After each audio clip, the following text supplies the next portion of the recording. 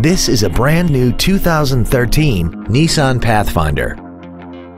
This SUV has a continuously variable transmission, a 3.5-liter V6, and four-wheel drive.